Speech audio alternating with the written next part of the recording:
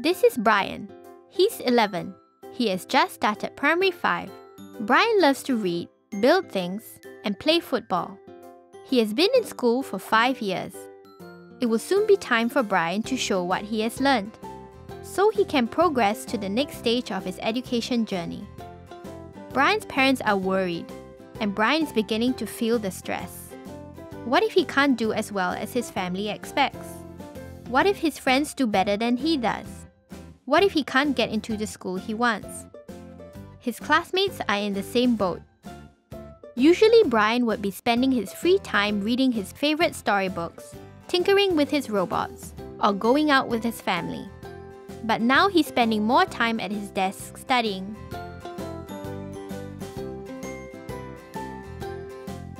The PSLE continues to be a useful checkpoint to gauge a student's understanding of key concepts and his strengths, which can then guide his future choices. But over the years, the PSLE has been increasingly seen as a high stakes exam, which determines a child's future. This mindset is causing stress to our children. The PSLE scoring changes intend to reduce excessive competition and overemphasis on academic results. With these changes, Brian will have more time and space to build a strong foundation and pursue his interests. So, what's new? The current T-score system differentiates students finely. This may not be meaningful in the long run. So, we will be replacing the T-score with broader scoring bands. For every subject, students will be assigned an achievement level, which spans a range of marks. AL1 is the highest level. Now, students who score in the same range of marks in a subject will fall into the same achievement level. Now, whether Brian gets 92 or 100 marks in a subject, he will still be awarded the highest achievement level. A student's total score, called the PSLE score, will be the sum of his subject achievement levels.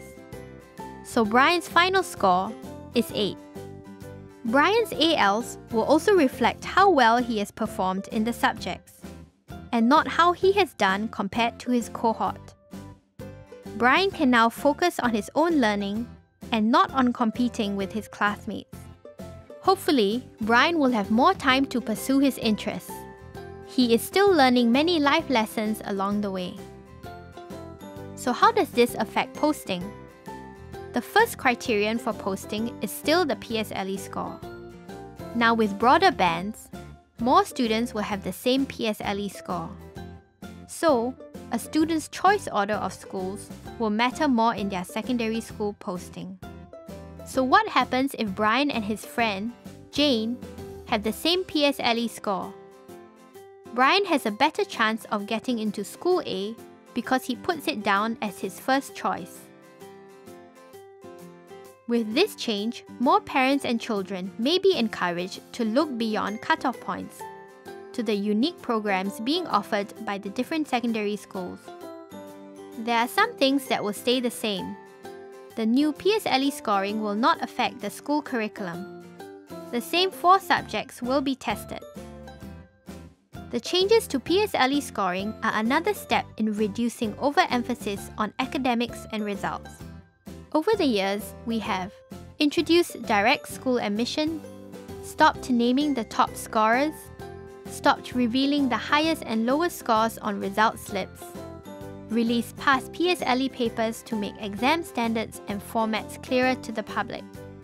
Our schools have also been introducing varied programs for students to be creative and explore their interests. They also offer opportunities for students to build their resilience, tenacity, and team spirit. By 2017, every secondary school will have distinctive programs.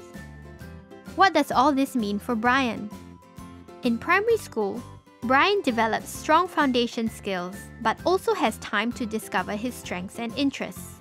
He is in the process of finding out who he is he chooses a secondary school that suits his interests and abilities and builds on his existing skills and talents.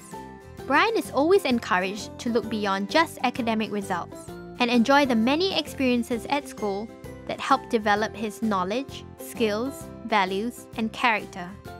By the time Brian leaves school, he will have developed an array of abilities that go beyond just textbooks and exams. Brian's success depends on all of us. We will need active support from parents, teachers, and the community to enable our children to reach their potential. Let us work together so that our children can do their best, each in their own way.